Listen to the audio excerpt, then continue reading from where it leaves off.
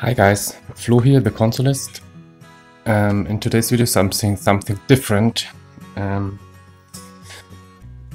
yesterday I stumbled across this.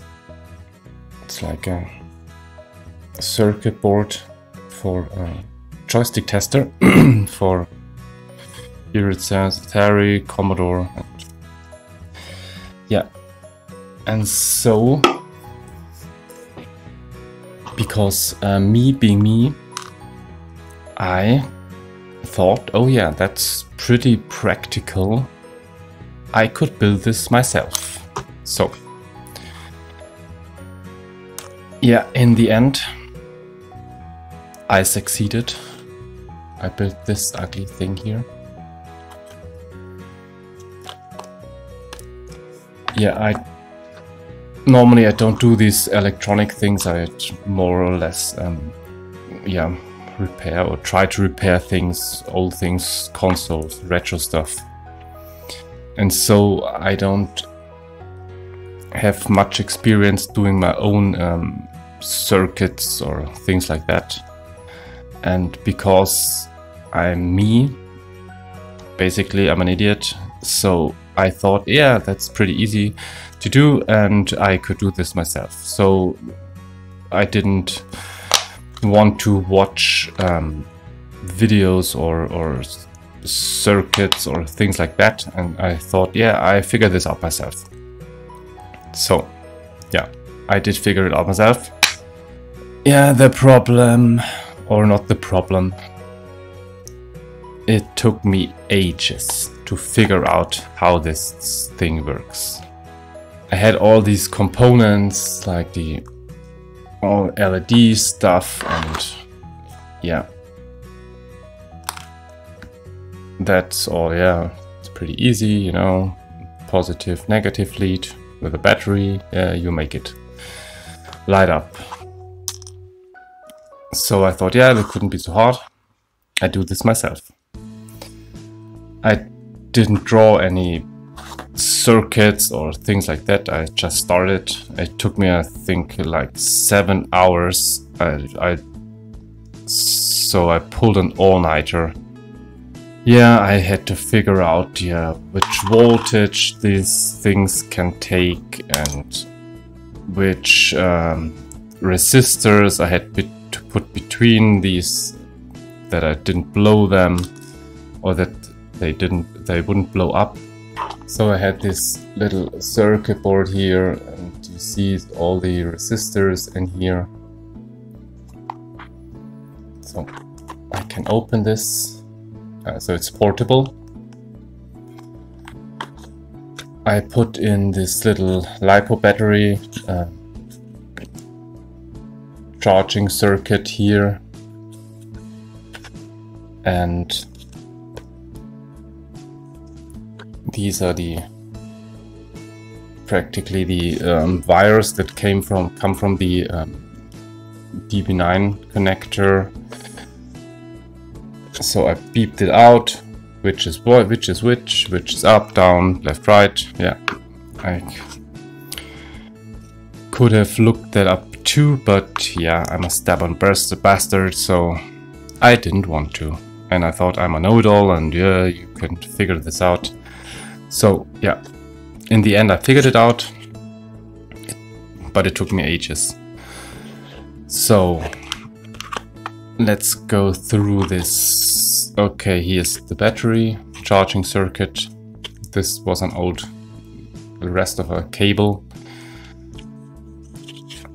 I had um, yeah, this is the connect the connections that come from the uh, joystick here.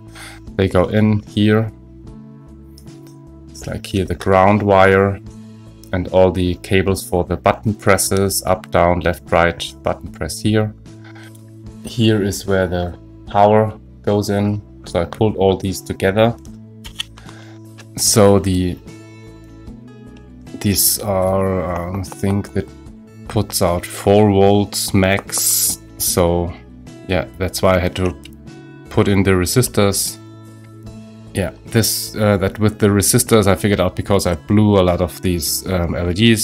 So yeah, So the power goes in here to the mm, positive side of the LED and I put a resistor in between. I don't know which, yeah.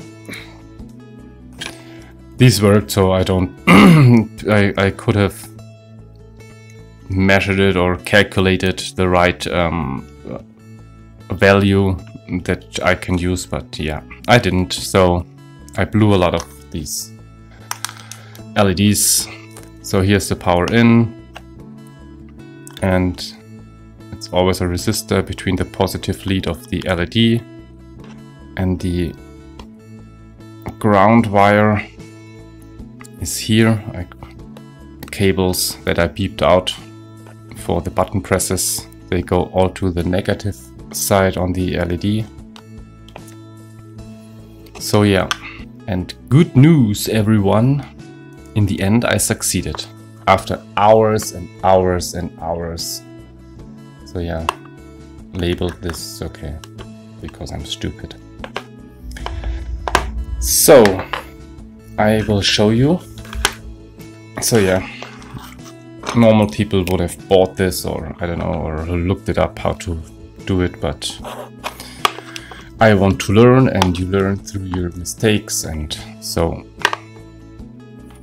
I wanted to figure this out all by myself. And I did in the end after I pulled an all-nighter, so yeah. So let me show. Here is a Sega controller. Just put it in. And you see down, left, right, up.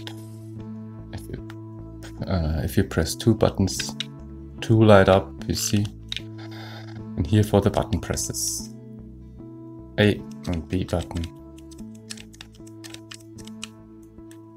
So it works for the Sega controller.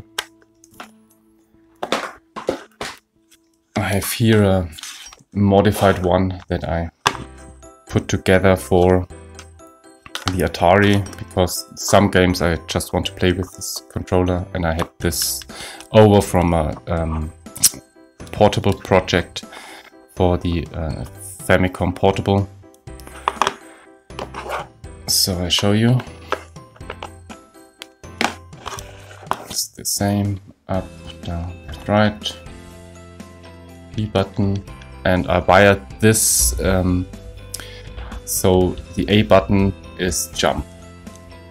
Let's see.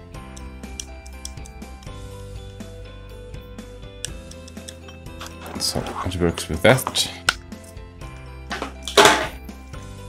Here my it's the competition joystick for the Amiga. Works the same. You see up, down, left, right. Please and the button.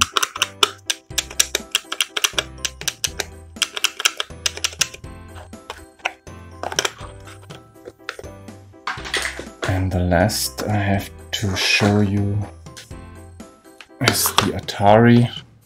So I modified that with clicky buttons. There is one thing, yeah, when I put it in, the this lights up. I don't know why, and I don't care. So the same here, up, down, left, right, and fire.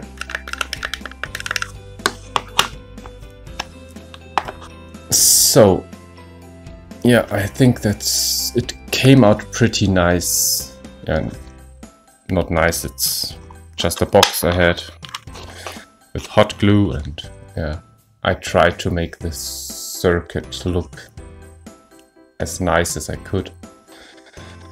So yeah, I think this will be pretty useful for, I don't know, if you go on a flea market or some second-hand shop or I don't know, you can take this with you and test your joysticks on the go.